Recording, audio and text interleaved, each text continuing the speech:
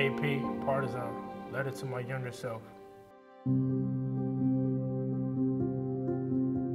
What I would say to my younger self is to keep going. Exactly what I did. Is just keep going, keep believing, keep having an uh, imagination. And um, that's probably the biggest thing to do. It could be hard in the moment, but just continue to have that imagination. I've been in different situations where multiple people or just the situation wasn't for me and a lot of people doubted me.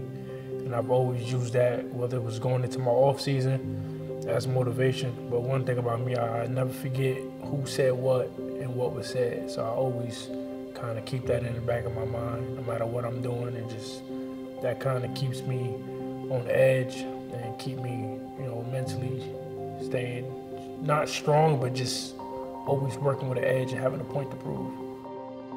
I can't sit here and say, oh, I'll do this or I'll do that. Like, I really don't know where I would be, to be honest with you. i tell you this much, I wouldn't be in Europe. I'll probably be somewhere in the Bronx, New York, whatever, doing who knows what, I'm not sure, but I wouldn't be here though. Why I never gave up, I don't really have the answer for that. One reason why I would say maybe because of basketball, but other than that, I'm not too sure why. I just I just kept going. I feel like sometimes you have to go through whatever growing pains, whatever adversity.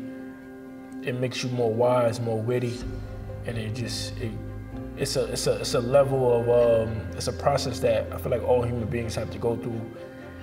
And no matter what field they're in, whether it's basketball, a doctor, you can't skip steps. As little kids in America, we only thing that we're told is NBA, NBA, NBA. So tell me something about Europe, I would have for sure thought you was lying because I didn't even have a passport until my rookie year. If I told you uh, at this point in my life that I would be here when I was 10 years old, like if you was to tell me that then, I wouldn't even believe it. But just been through so much adversity and just so much just about to give up and just different instances of my life to where I'm just like, man, forget this game basketball. But I've always stayed true to the game of basketball. I've never cheated it. So I mean, I guess that's what happens when you just, you know, when when you're rewarded from the game of basketball.